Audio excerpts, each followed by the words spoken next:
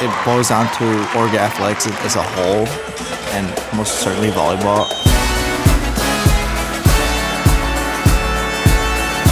Big highlight of why I joined Pit Crews because I wanted to interact with other Oregon fans who are as passionate about this school, this the teams that we have, and the culture that we have just the atmosphere, feeling like you're involved. That kind of inspired me to join Pit Crew, just being able to be very vocal. And we're all supporting that one core thing that unites us, which is Oregon athletics. Actively participating in the game, it makes us feel good as a student section as a whole, just because other fans feel our energy and our passion for Oregon, for the volleyball team. and it just creates this atmosphere that everyone wants to be a part of